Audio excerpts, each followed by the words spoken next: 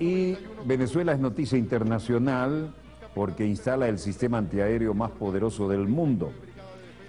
Ya lo estamos instalando en todas las cordilleras, las montañas, los corredores, el llano venezolano, las fronteras marítimas, las fronteras terrestres, dijo el presidente Maduro, y nadie podrá tocar ni un centímetro de la patria, puntualizó Nicolás Maduro durante una visita al estado Sucre, ubicado en la región nororiental del país.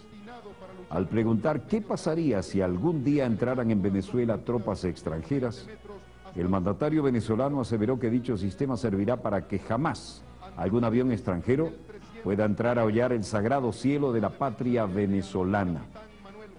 De acuerdo con las versiones, el pasado 9 de junio, el ex vicepresidente de Venezuela, José Vicente Rangel, denunció que los partidarios de la ultraderecha habían comprado 18 aviones de guerra de Estados Unidos y se instalaban con ellos en una base militar estadounidense en la hermana Colombia.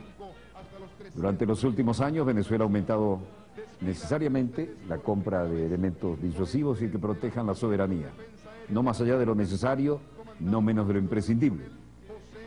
Y esto es lo que ha llamado la atención a muchos medios internacionales. Desde el Pechora hasta el S-300, que son los sistemas de misiles antiaéreos más modernos del mundo, ahí tienen Pechora, actúan en red en una serie de sistemas que no es del caso, por supuesto, comentar aquí, pero que cubren relevándose en las funciones según el blanco y las distancias.